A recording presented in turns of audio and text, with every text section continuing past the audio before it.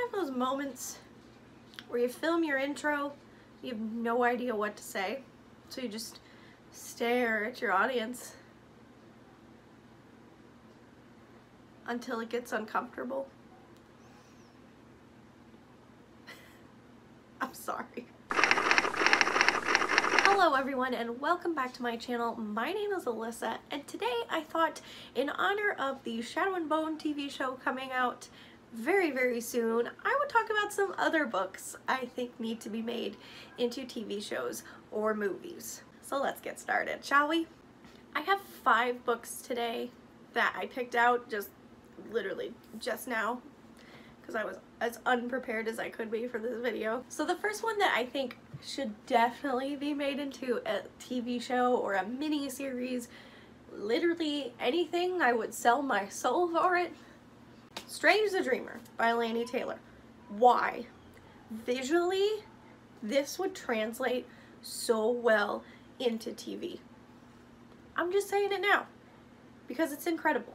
The story starts off with Laszlo Strange, who is a librarian, and he's obsessed with this missing city called Weep, and he wants to get to the bottom of why it's missing, and one day a group of warriors from that city show up, and he's like, gotta get, gotta, gotta join them, man. There's also like a generational hatred and prejudice going on, as well as sides trying to move on with their lives after horrific things happened. My cat is on crack, I think. This is just so, again, visually amazing, but I think it would just be a really great series because of the characters, the character development, the bizarreness of it all, because it's so unique. And I feel like TV these days is not as unique as it used to be. Maybe it's just me. Maybe it's because I don't watch a lot of TV, but I feel like the originality train has left the station because everything's a remake it feels like. But this is unique, this is different, and this needs to be made into a show because I want it, dang it. The next one is a childhood favorite and I think would be really good again as a TV show or a movie. I'd take either at this point because it's been out so long and nobody's jumped on this. That is The Edge Chronicles by Paul Stewart and Chris Riddell. This series, I've talked about it in great length many a time on this channel. It's my one of my all-time favorite series. This is my childhood favorite. I just hit myself in the face. Ah, and I'm obsessed with it. Again, visually spectacular. This would make an excellent show.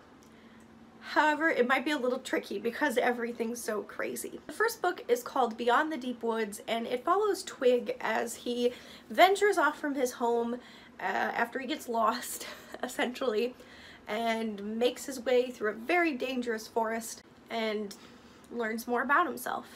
This book in and of itself is a little slow and a little dull, but I think it would be really cool to have like this combined with the second book because you could flash back to him meeting things and it could be really cool, could be really well done. I could imagine though there would be a lot of CGI involved, a lot of animation. This would actually make a spectacular anime. Yeah, I think this would make a really good anime or like just an animated cartoon, anything because of the art style and how it's really established already. I feel like CGI would almost be too much. This is me talking through things on camera. Yeah, this needs to be a show today. This next one I don't think could do movie. I, I think it would have to be like a mini series or like some sort of Netflix show.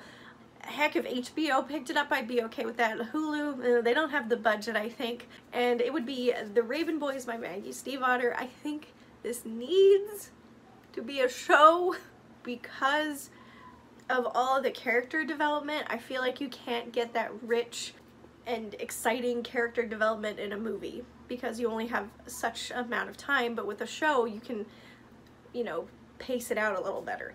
The Raven Boys is about a girl named Blue who is the daughter of a psychic and lives in a psychic family however she does not have any psychic abilities and she happens to get wrapped up in this quest to find a dead Welsh king with a group of boys from a prestigious high school and it is crazy. It is nuts. The characters are amazing. This needs to be a show. It wouldn't even require that much animation or CG. It would just be all like location, location, location kind of deal and making sure that the characters were portrayed correctly. But I think this would be an excellent show. I can almost see it in the vein of like Pretty Little Liars kind of filming wise or Riverdale. I've never watched Riverdale but I've seen previews and I could kind of see that vibe going on but with that twist of magic and I think it would be very successful. Just saying. Next up is one that could be either. you might have to like mix some of them, I don't know, or like combine a couple of the books into one. But uh, that would be the Jacky Faber series, the first one being Bloody Jack.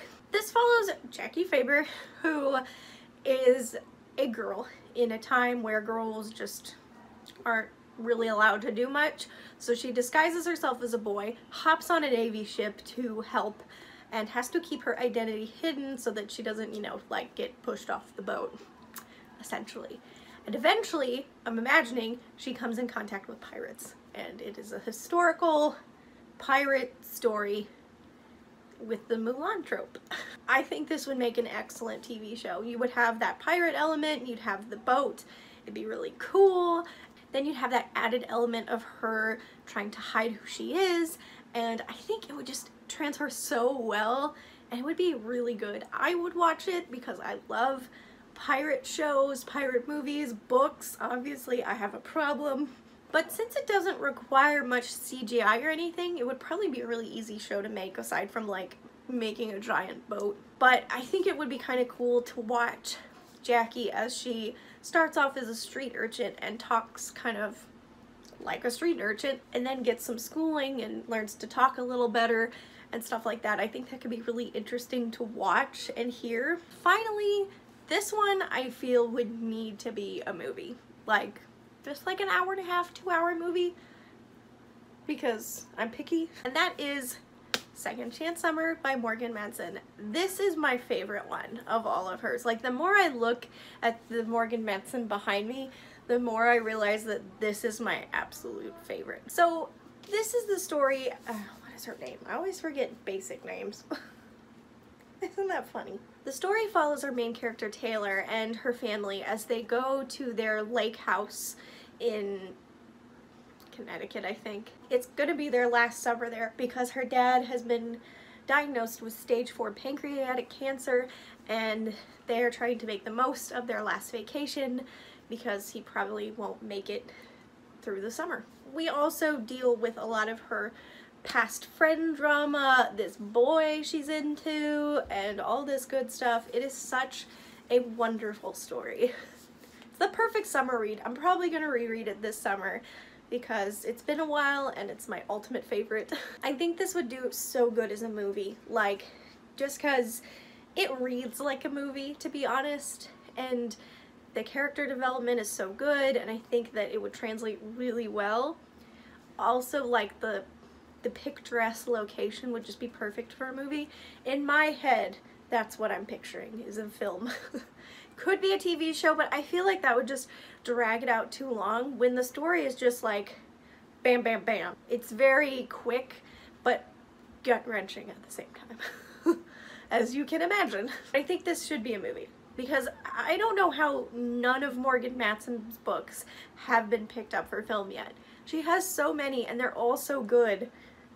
Why? this one would be super good as a movie. Honestly, Amy and Roger's Epic Detour would be a good movie. Since You've Been Gone, Unexpected Everything, Save the... Uh, any of them. Literally any of them. Probably her new one too, because you bet your bottom dollar I'm going to be reading that one. I keep dating myself in these videos. So yeah, this needs to be a movie. I think Netflix would do a really good job with this because they did such a good job with To All the Boys I Loved Before. Still have to watch the other two, but I did see the first one and it was really good and I think that they could pull this off as well. So those are all the books that I wish would be picked up for a film or a movie or a TV show or whatever. I just, I just want them. And with Shadow and Bone coming out, I've been thinking more and more about books that need to be next because there are so many and I'm sure you guys have some that you would love to see be a TV show or a movie. So let me know down below what that would be, of course. And don't forget to subscribe if you haven't. Give this video a like if you want to. Totes up to you. And I will see you very, very soon in the next video.